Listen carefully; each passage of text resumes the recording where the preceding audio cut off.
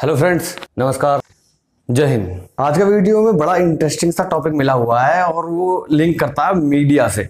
Actual में current में एक कॉलोनी सील हुई है या सेक्टर बोल रहे मैं बताऊँगा नहीं कहाँ का है, कौन सा है। और वो सील होने का कारण जब डिस्कस कर रहे थे तो कारण पता चला कि मीडिया के जो कर्मी हैं, उनकी वजह से इन्फेक्टेड हुआ।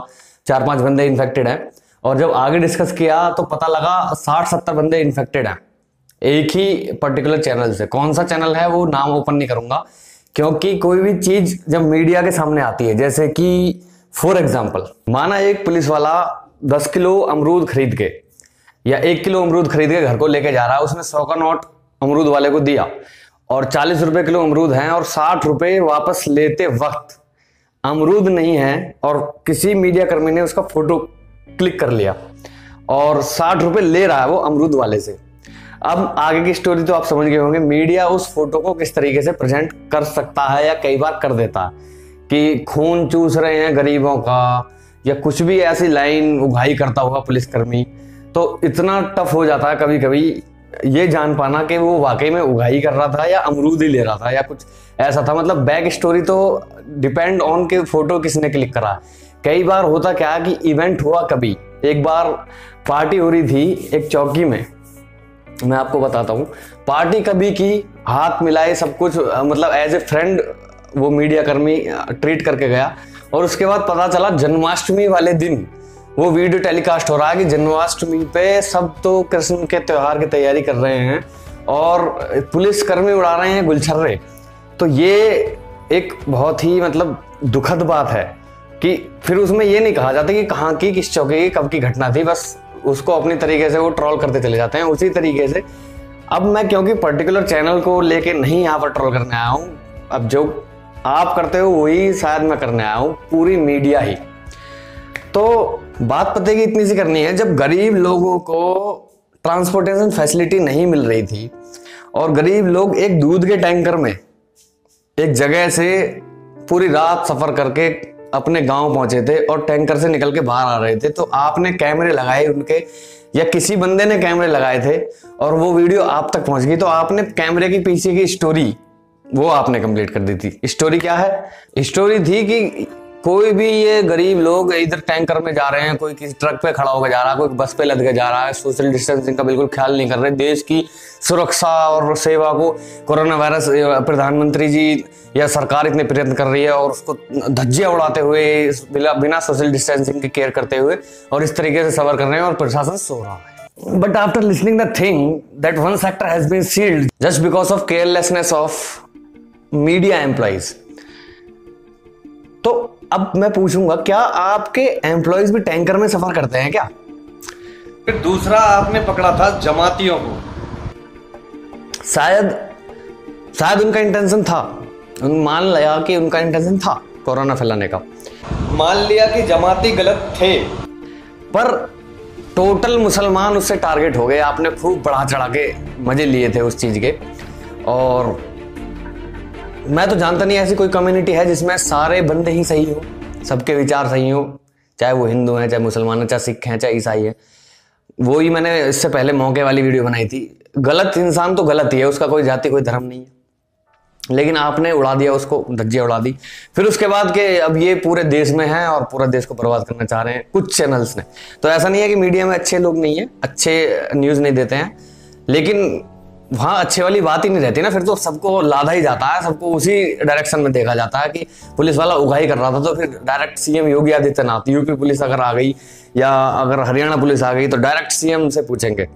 डायरेक्ट वहाँ पे अगर एमपी में पुलिस आएगी डायरेक्ट सीएम पे बात जाएगी कि मध्य प्रदेश की पुलिस ऐसा कर रही थी। फिर उसमें जितने भी अच्छे पुलिसकर्मी उनके मन पे क्या बीत रही है, वो वही जानते हैं, किस तरीके से वो अपना घर का खर्चा चला रहे होते हैं, किस तरीके से सर्वाइव कर रहे होते हैं, और आप पूरी पुलिस को डो डालते हैं। वैसे ही today I am here to ask you one single question कि मीडिया तो इंटरनेशनली पूरी दुनिया में भाई न्यूज़ ला रही है और सबसे पहले सबसे तेज बिना ये जाने के उसके पीछे क्या है।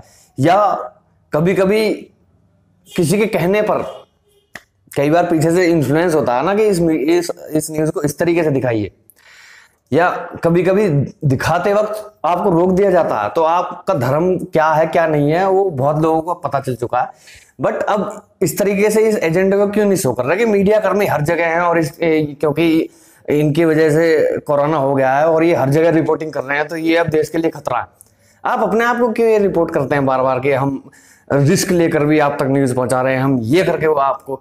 तो यार वो गरीब भी रिस्क लेकर अपने घर पर जा रहे थे टैंकर में बंद होकर। आज खून निकल गए हैं लोगों के पैदल चलते चलते तीन तीन दिन पैदल चल रहे हैं, छाला और पैर सूजना अलग चीज़ है, खून निकल गए हैं उनके। खाना जब बटने जाता है ना तो उन्हें ये नहीं दिखता कि सोशल डिस्टेंसिंग क्या कोरोना क्या उन्हें ऐसे एक के ऊपर एक भीड़ चढ़ जाता है कि क्या पता निन्यानवे को मिल जाए और सौवा बंदा मैं ना हो जाऊँ कि मुझे ये बोलने के अब खत्म हो गया खाना।